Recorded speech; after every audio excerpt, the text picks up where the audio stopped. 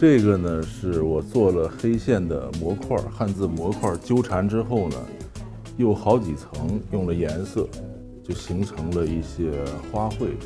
在材料上也是不光是国画的材料，这样就是形成我认为的中国自己的抽象。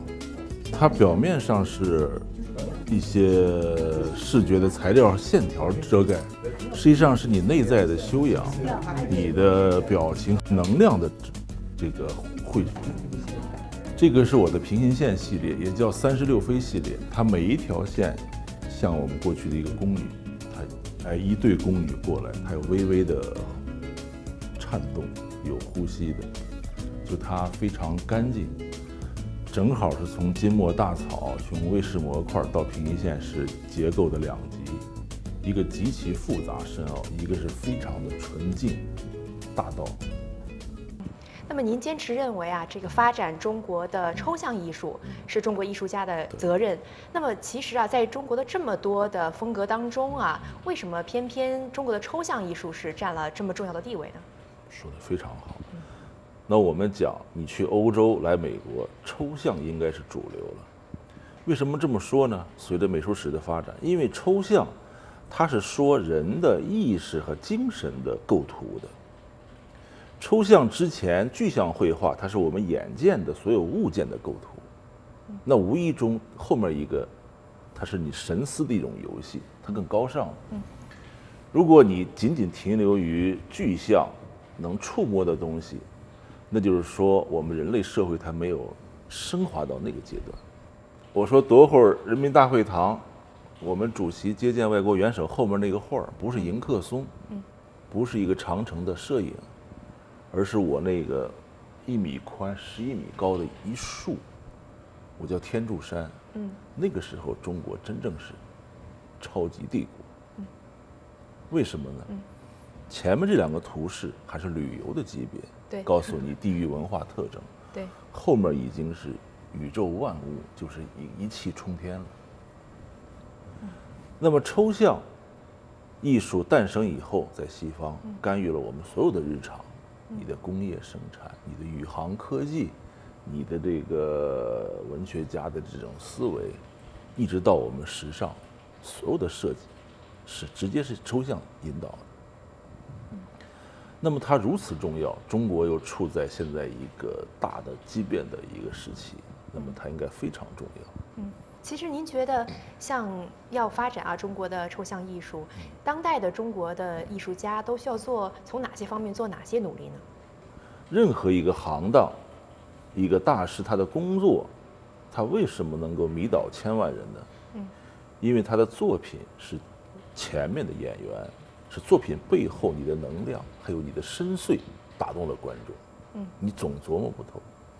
那我们的推理就是说，你只要往你的身上，往你心灵的山上加了无数种能量，它的厚度超越了你之前的所有大师，比如说毕加索、梵高。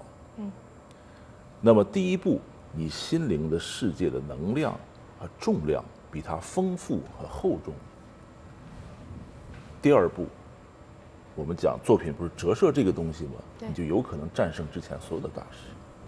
然后抽象这一点呢，它但来源于西方了。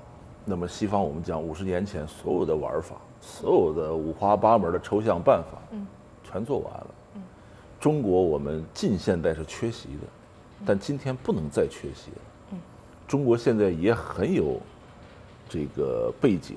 因为它是个酷爱艺术的一个古国，现在也很有财力去完成这个事业。又很庆幸的是，我们这样一个来路，具备了身上具备了这样的叫我们叫 equipment 或者 quality 的人，他可以完成这个事儿，就是通过中国古汉字还有书法，从他而来的抽象，一定是代表中国的。因为我们所有的美院教育，所有的发。抽象史的发展全是从物象变得写意一点，最后到抽象。这个路的所有的玩法都做过。现在中国的艺术界啊，在世界的舞台上是占有什么样的一个地位呢？然后您觉得中国像您刚才说的发展中国的抽象艺术，您觉得这需要多少年才能让中国在世界的舞台上占有一席之地呢？问得非常好。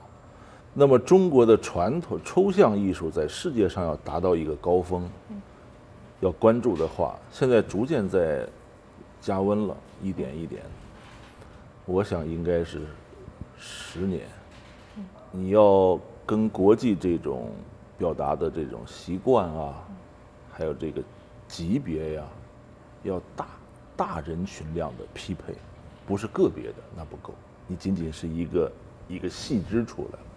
形成一个山峰标，有一批人具备这种，然后再巩固住，巩固住呢，这个事情重要的是，你这个山在中国大地上，你要在世界上有高度，它那是美国的山，那是欧洲的山，你的抽象的血型，你的人种是东方中国的土地上是最重要的，表面上的或者中国这个地方。小吃一样，地方风儿的是完成不了这个任务。他只是在三十年前国门打开的时候，给西方人一种有趣、好玩儿哦，那个地方还有这些好东西。现在我们要从精神的内核上生长出一个一个行当的东西。我们也发现啊，在您年轻的时候，其实您是潜心钻研中国的传统的书法，然后后来呢是改成了现代派。那您？这个发生改变的过程是怎么样的？我叫就是它自然的升华，因为传统你搞一搞，造草书最疯狂了，但是还不够。我一看人家外面搞了些颜色啊、爆炸呀、堆积呀，你光疯狂草书不够啊，我就往里加材料，嗯，然后再解构、重新构造，这是很正常的，一直驱使你这样子。对。零七年在中国美术馆我的个展上，嗯，很盛大的个展，我有一个发言。当时实际想，我艰苦了这么多年，今天你们来庆贺，在我内心已经滞后了你。虽然今天在展示我的工作，但是我已早已经跑到那个隧道，进行下一步。我说了一句话：这么多年来，我根本不管地上的风起云涌、风光这些人，我是不看的，无视他们。我钻到地下很深的地方。比如说一千米潜行，那么地上我这些我是不看的。嗯。突然有一天你钻出地面，你回头看这些人，你是最高的。那么一个国家的使命，刚才我讲美术史上这么大一个课题，你要建立中国的抽象学派，不是短短几年能完成的。对。它一定是数十年。对。所以你要潜心，潜心的人告诉那些人，甚至他也不告诉他们。我在做大事情，我在做一个大的工程，对，它是很多年完成的，受不到干扰。但是您虽然说您是一个前行的状态，也但是也不是完全隔离的这么一个状态吧？还是要吸取一些精华的东西。当然，嗯，就说是数学，数学学呢给我们一种拣选能力和洞察力。虽然在潜行，但是我只要我侧眼一看，我知道什么是我要的，什么是我不要的。对。就迅速的拣选，嗯，这能力是有。嗯，您觉得什么是您想要的？你精神永远是向善向上的，然后你有遇到了上帝之手把你摆布到这个地方，遇到了这个人，所有最后完成你大业，这都是一些你的你的一个推动的。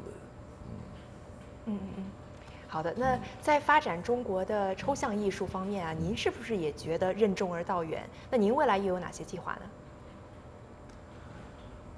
呃，我现在做一个私立教育，嗯，那么我们觉得，我们过来人有这个成功的经验，嗯，那么这个道路又在我们的判断下是最好的，所以我就组织了一一批人，一年办一届，来共同围绕抽象书写来研究，嗯。年龄有很大的各界的精英来做这个事，这是一个教育。嗯，还有一个呢，就是我们需要，那么我们也身体力行，去来推动国家呢，我们的博物馆收藏啊，我们的所有这种机制，让它国际化一些。那我其实想问您一下啊，您也刚才也说到这个办学校培训未来的艺术家，您在挑选培养人才这方面，您想培训培养什么样的艺术家呢？那么在选择艺术家的时候，他要有特征，要有特点。通俗的看着你这个技法都具备的，但是我看不到你未来是不要你。有一个农民工，他自己研究篆字，很怪的一套篆字，在传统书法肯定都不跟他探讨。对。但是恰恰我们到传统书法更高的眼界，嗯，你不能轻易否定人家。嗯。他有自造能力，到我这儿我梳理他一下，我把美术史级别的梳理的办法给他。对。他的品性保持。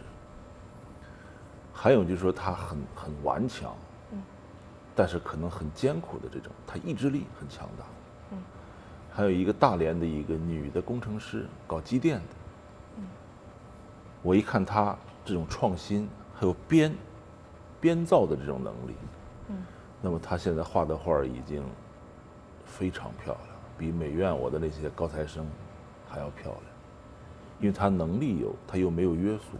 所以，恰恰是新事物产生的原因。那么，我们讲，在整个地球，中国有点像东方 S 级，西方像地球的北极，像物理世界，一个是方的，一个是圆的，一个是油性的文化，一个是水性的，一个是比较温婉的，一个是比较比较锋利或者比较分明的。那么，作为地球上这样分布这片人群，我们有义务和责任，要建立一个中国东方的一个艺术之花，你的一个体系成果，来这个续写整个全球的一个美术。嗯，这是我们的一个抱负。嗯。Because of the long history, and the long civilization of China, with its enormous achievements. have made it very difficult for artists to break away from the, this legacy from the past and do something which is relevant and meaningful to today's world. But Wei Ligang has trained as a calligrapher, as a classical calligrapher, and he's now trying to make calligraphy, change it, distort it in ways which will be understood by today's society in China. And therefore he has come to make these very, very original, groundbreaking, different uh, paintings which are rooted in Chinese ancient culture, but uh, are mean something to